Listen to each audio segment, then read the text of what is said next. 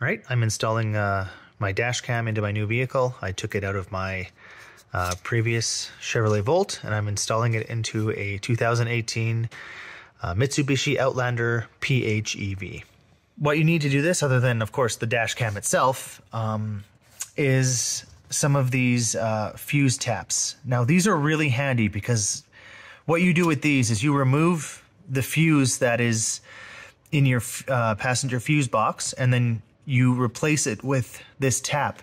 And what this lets you do is actually uh, keep the fuse in place for whatever uh, device is fused and then add a fuse as well for your dash cam. So it lets you tap into the the power in the vehicle without, you know, sacrificing you know the the fuse for the the the accessory that you're you're tapping into. And and you can get these on Amazon. Uh, so pick up the taps and then also uh, some spare fuses as well. I also have these uh, these plastic uh, trim tools or, or, auto trim tools. They are so handy to have. You can make use without these if you wrap like the ends of a, of a flathead screwdriver in electrical tape so you're not doing any damage. But uh, I, I, find these to be super handy. So how does dashcam wiring work? Well, it's very easy uh, from a basic high level. Uh, you have your, your red, which is your switch, uh, your black, which is your, your ground, and then your yellow, which is your power. The Yellow wire will be your constant power. Your red wire will be your uh, switched wire, so your dash cam knows when to power up.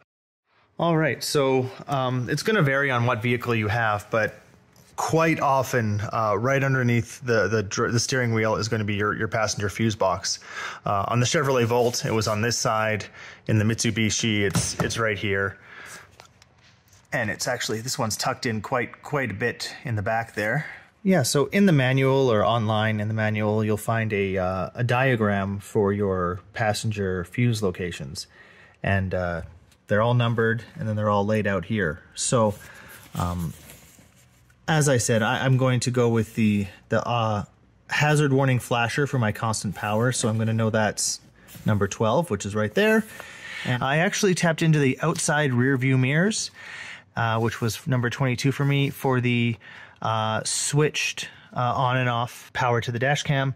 So I have my taps here, and what I'm going to do is I'm going to go under the uh, the dash here and through the hole in the back and feed these around, and the, the wire will come out. Okay, there we have it. Uh, lots of room to work with. Normally they're not so deep in there, so that might be a challenge to, to reach in there and hold the camera. But I'm going to pull the the fuses that match the the, the diagram I looked at earlier and uh, tap them in with these. Okay, I was able to reach in there and pull one out. Uh, I had to use these really long pliers, and what I've done is I've actually wrapped the tips in electrical tape. You don't want to be shoving metal prongs into your fuse uh, into your fuse box. That's a that's a big no-no. But I've got it out. I'm going to take the fuse here and just stick it in those two slots. And that is what it looks like when it's all in there. Now I'm just going to reinsert this into the into the uh, the fuse box. All right, I got him in there. It was a huge pain in the butt because it's just so it's so deep down in there that you can't you can't uh, get it done. If you don't have really long needle nose pliers like I did, uh, you will have a struggle. But most vehicles don't have it sunken in deep. Normally, they're they're almost flush with the uh, with the panel here. But they're in there, uh, and the last thing I have to do is to uh, attach this ground, and I think I'll do that right here. All right, there it is. It's grounded. I used a 10 millimeter wrench for that one. And uh, we're pretty much all wired up under here. So the best way to go about this now is to have a good idea of where your dash cam is going to live. You know, my, my dash cam is going to live maybe right in, in this area. I'll need maybe about that much, I guess, slack or, or left in the cord so I can plug it in, you know, comfortably.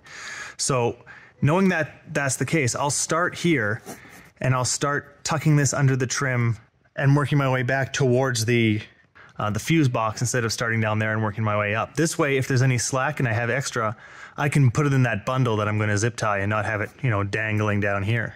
So now that I've gotten to this point, I'm going to use my uh, my trim tools here to very gently pull this this open and tuck the wire underneath Um, and then I'll get, get over to this point and I'm going to do the same thing. Now I'm working my way down. Uh, again, on this vehicle, it's super easy. I'm just sliding it under there and it's finding, it's almost like it was made for this. You, I've struggled with this a lot in the past, but uh, this actually isn't so bad. Uh, as you can see, I'm even doing it one-handed. I'm done this part, so I've gone all the way down here, just sticking this in here and giving it a little, a little pull. Sorry. That gave me enough to just shove the wire in and it's completely hidden. You, you can't even tell. Uh, so yeah, we did. There was some excess, like I said. There was there was actually uh, a little less than I thought, but still, um, there's some excess. So what I'm going to do now is I'm going to wrap this all up nice and nice and neat, and then use a zip tie here to, to zip tie it so it's a, a small little package in there and, and not uh, in the way of anything. Okay, so the second part of this, uh, I have a rear-facing component to this back cam, as you can, I don't know why my phone's not focusing on it. There we go. So I have it already um, mounted on my rear windshield here.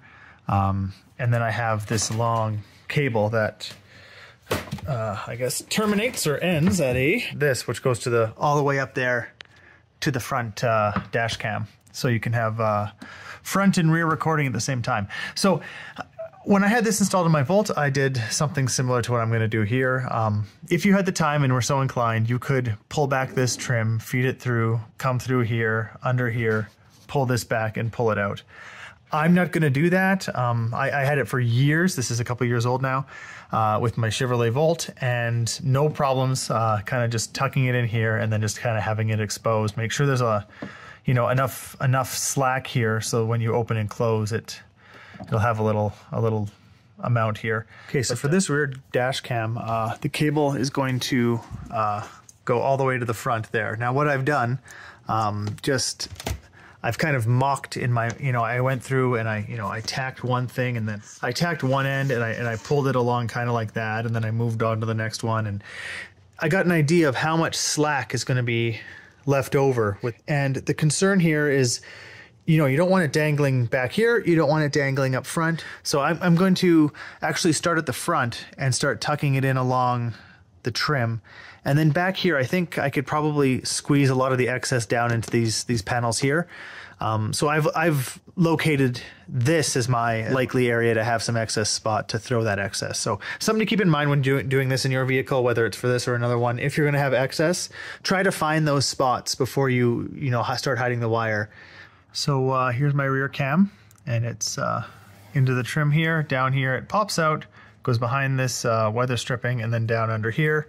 And again, I was able to tuck everything, every piece of excess into this panel here. And really, this is all you see. Uh, it looks pretty, you know, it's within reason for me.